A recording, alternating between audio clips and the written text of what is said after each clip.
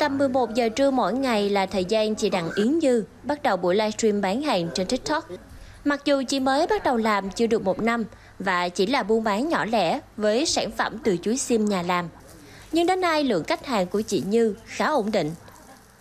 Lúc đầu thì ngày nào cũng phải like, nhưng bây giờ lượng khách nó đã ổn định rồi, khách mua cũ quay lại nhiều nhiều khi là mình không đủ lượng chuối cung ra thị trường nên một tuần mình chỉ gặp khách khoảng một, hai lần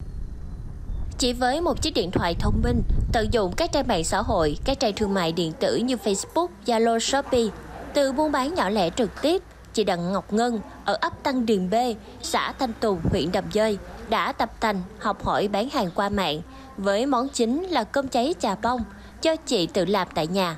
Với cách này, sản phẩm cơm cháy trà bông của chị ngày càng được nhiều người biết đến, số lượng hàng bán ra vì vậy cũng tăng lên đáng kể tăng lên nhiều mỗi mỗi tháng là mỗi tăng lên. Được thành công như hôm nay là cũng nhờ là hội liên hiệp phụ nữ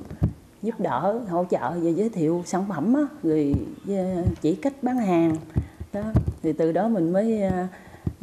tự tin để à, kinh doanh. Công nghệ thông tin nó phát triển như hiện nay đó thì à, bán qua trang mạng nè các cái nền tảng xã hội nè thì ngày càng phát triển. Thì chị em cũng đã nắm bắt được cái cái nhu cầu thị trường như hiện nay thì chị em cũng tìm hiểu để dần dần thì à, bán qua cái bán hàng online nè trên các trang Facebook Zalo như là TikTok thì chị em cũng chịu tìm tòi học hỏi để để bán lắm. Và à, có một số chị cũng đã thành công cũng đã thành công trên cái cái lĩnh vực ừ, bán online này.